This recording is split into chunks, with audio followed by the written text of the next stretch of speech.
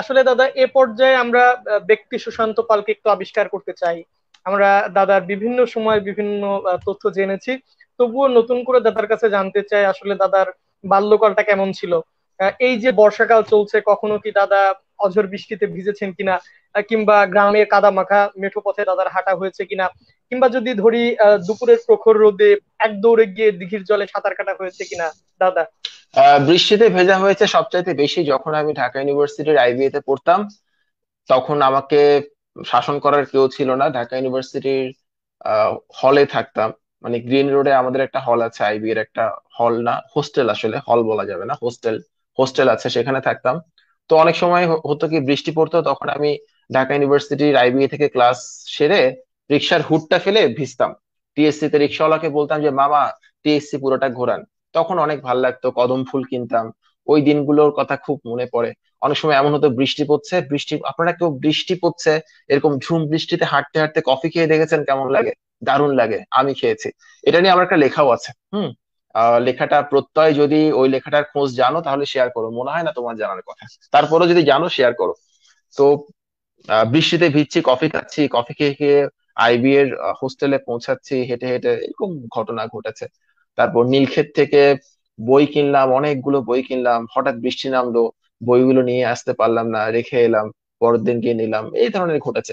ছোটবেলায় যখন বৃষ্টিতে ভিজতাম, তখন মা প্রচণ্ড মার দিতেন, আর আমাদের বাঙালি মায়েরা তো, বাপরে বাপ, ওরা মানে ধরেন মারামারি করে এলাম, বা কোথাও ব্যথা পেলাম, ব্যথা পেয়ে মাকে বললাম, মা, ব্যথা পেয়েছি, পড়ে গেছি। ওই ব্যথার উপর আবার মাইর হ্যাঁ? ওই মারের পরে আবার সেখানে আবার মলম লাগাচ্ছে, এটা হচ্ছে বাঙালি মা। তো আমার মাও ওরকমই ছিল। তো ওই ভয়ে বৃষ্টিতে ভেজা টেজা হয়নি। ছোটবেলায় ঠান্ডা লাগতো বৃষ্টিতে ভিজলে। তো ঠান্ডা লাগার কারণে ওরকম ভেজা হয়নি। কাদায় পড়ে গেছি হ্যাঁ অনেকবার পড়ে গেছি। আমরা তো শহরে বড় হয়েছি।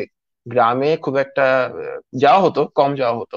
যার ফলে গ্রামে গেলে বৃষ্টির দিনে কাদায় পড়ে যেতাম থাপাস করে পড়ে যেতাম এবং এটা সবাই হাসতো শহরের ছেলে সে কাদায় পড়ে গেছে, এরকম একটা ব্যাপার। তো ছোটবেলাটা ডান পিঠে ছিলাম না কখনো। একটু বোকা শোকা টাইপের ছিলাম। মানে ভোদাই মার্কা ছিলাম আর কি, হাবাগোবা ছিলাম। পড়াশোনায় করতাম বেশি বেশি, অনেক পড়াশোনা করতাম। আর ফুটবল খেলায় আমাকে নিত, তবে শর্ত ছিল নালাই বল পড়লে আমাকে নিয়ে আসতে হবে। ওই শর্তে আমাকে ফুটবল খেলায় নিত। আর আমি একটু নাদুস নুদুস টাইপের ছিলাম। তো আমাকে রাখতো হচ্ছে গোলকিপার। গোলকিপার রাখলে তখন আমি অনেক জোরে ফুটবলে লাথি মারতে পারতাম। যার ফলে কেউ গোল দিতে আসলে আমি ওর দফা দফা করে ছাড়তাম। ওই জন্য আমাকে গোলকিপার রাখতো। আমাকে একটু ভয় পেতো মোটা সোটা ছিলাম ওই জন্য। আর ক্রিকেট আমাকে নিত ওই একটা শর্তে আমাকে ব্যাটিং দেওয়া হবে না বোলিংও দেওয়া হবে না, তবে ফিল্ডিং দেওয়া হবে। আর নালাই বল পড়লে আমাকে নিয়ে আসতে হবে। এটা ছিল শর্ত। তো এই সমস্ত শর্তে আমি কিছু খেলাধুলা করেছি। এই সমস্ত শান্তি চুক্তিতে কিছু খেলাধুলা আমার করা হয়েছে।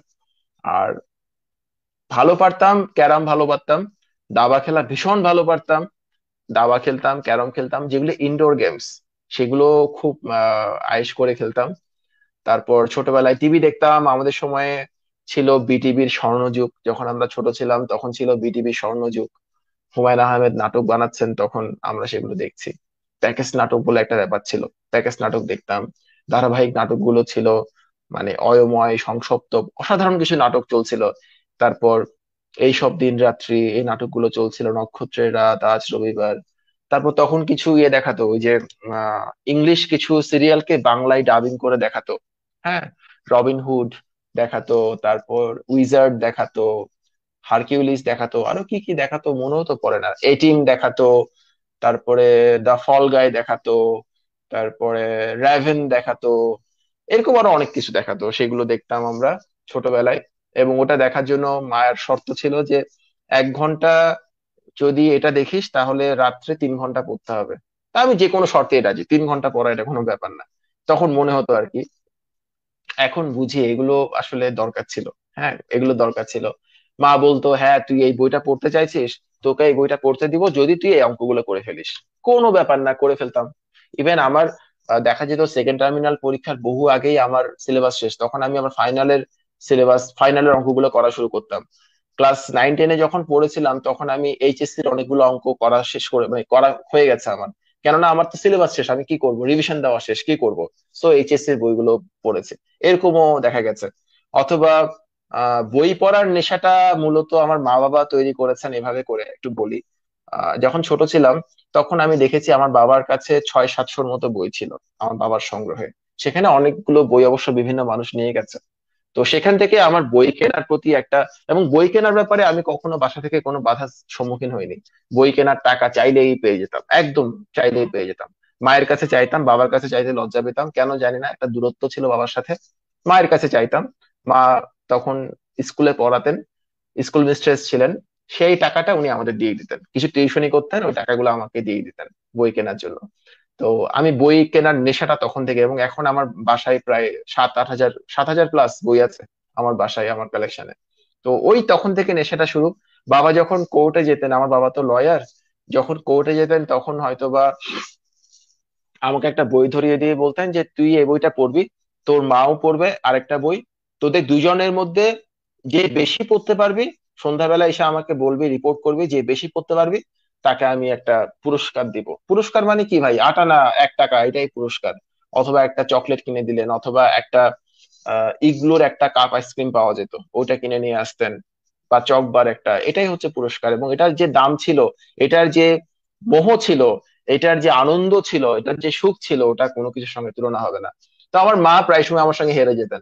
আমার মা চাইলেই কিন্তু আমার চাইতে বেশি পড়তে পারতেন, কিন্তু উনি পড়তেন না। উনি ইচ্ছে করে আমার কাছে হেরে যেতেন, আমাকে উৎসাহ দেওয়ার জন্য। আজকের দিনে বুঝি ওই যে মায়ের যে হেরে যাওয়াটা ছিল, ওটা ছিল আসলে আমার মায়ের জিতে যাওয়া। তো এই ব্যাপারগুলো আমাকে একটা, এই বিউটিফুল মাইন্ড তৈরি করতে সাহায্য করেছে। এই beautiful mind is the greatest treasure on earth যার মনটা সুন্দর, সে অনেক ভালো কাজ করতে পারে।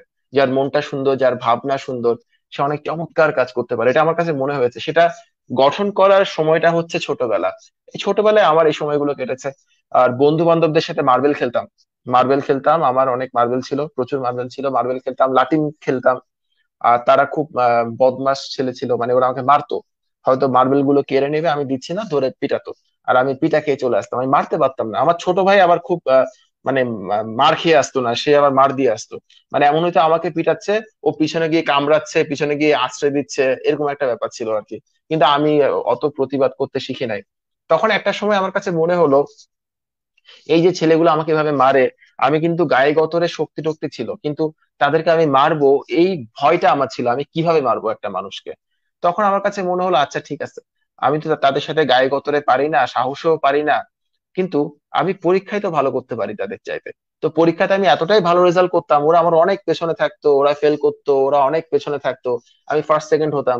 তো জীবনের বড় মার্কটা আমি তাদেরকে সেখানে দিয়েছি। অর্থাৎ আমি এতটাই বেশি পড়াশোনা করতাম যারা তারা তারা আমার কাছে ধারে কাছে আসার কখনো চিন্তাও করতে না পারে। তো এখন যে ছেলেটা রোল নাম্বার তিরিশের বাইরে, আর আমি হচ্ছে ফার্স্ট বয় সে আমাকে দুইটা চর মারলে এমন কি আর হবে? কিচ্ছু হবে না। জীবনের কাছ থেকে সে তো আসল চরটা খেয়ে ফেলেছিল ওই সময়ে। তো ওই ব্যাপারগুলো আমার কাছে খুব এখন মনে হয় যে ছোট ছিলাম বোকাশোকা ছিলাম। আর আমার একটা ব্যাপার ছিল কি, আমি সবসময় মনে করতাম সবাই আমার চেয়ে বেশি পারে, সবাই আমার চেয়ে বেশি জানে। ওই জন্য সবার চাইতে বেশি জানার জন্য আমাকে অনেক পড়াশোনা করতে হবে। এখনও আমার কাছে মনে হয় আমি যা লিখি, এর চেয়ে মানুষ অনেক ভালো লিখতে পারে। ওই জন্য আমার কাছে আরও ভালো করে লেখার একটা ইচ্ছা তৈরি হয়। যখন আমি বিসিএস পরীক্ষার জন্য পড়াশোনা করছিলাম, তখন আমার মনে হচ্ছিল, আমি কিছুই পারি না, সবাই সবকিছু পারে। অনেক বেশি পারে। তো অনেক বেশি পারে, ওই চিন্তা থেকে নিজেকে ডেভেলপ করতাম। আর কি জানো, আমি কখনো কারোর সাথে কম্পিটিশন করিনি। আমি কম্পিটিশন করেছি অলওয়েজ নিজের সাথে। আমি আজকে কেমন আমি কালকে তার চেয়ে বেটার কিনা, তার চেয়ে আমি বেটার কিছু করতে পারছি কিনা, এই কম্পিটিশন আমি নেমেছি। এইভাবে আস্তে আস্তে নিজেকে ছাড়িয়ে যাওয়ার চেষ্টা করতে করতে করতে করতে অনেক দূর মানুষ পৌঁছে যায়। কখনো কারোর সাথে কম্পিট করো না। কম্পিট করো নিজের সাথে। কেননা অন্য কারোর সাথে কম্পিট করতে গেলে দেখবে তোমার অনেক মন খারাপ হবে, সে তোমার সাথে অনেক বেশি জানে, ওরকম মনে হবে, ইত্যাদি ইত্যাদি। নিজেকে ছাড়িয়ে যাওয়ার চেষ্টা করো। তুমি আজকে যদি পড়াশোনা করো দুই ঘণ্টা আগামীকালকে দুই ঘণ্টা পাঁচ মিনিট পড়াশোনা করো। তার পরের দিন দুই ঘণ্টা দশ মিনিট পড়াশোনা করো। একটু একটু করে বাড়াও। নিজেকে ছাড়াও। তুমি আজকে ধরো পরীক্ষায় পেলে চল্লিশ, তুমি কালকে বিয়াল্লিশ পাওয়ার চেষ্টা করো। তোমার যে বন্ধুটা আশি পেয়েছে, তার সঙ্গে কম্পিট করো না। কেননা সে আশি পেয়েছে একদিনের চেষ্টায় না। তুমি একদিনের চেষ্টায় আশি পাওয়ার চেষ্টা করলে তোমার হতাশা কাজ করবে। তুমি নিজেকে আস্তে আস্তে ছাড়াও, তাহলে তুমি অনেক দূর পৌঁছে যাবে। এটা আমার কাছে মনে হয় আর কি।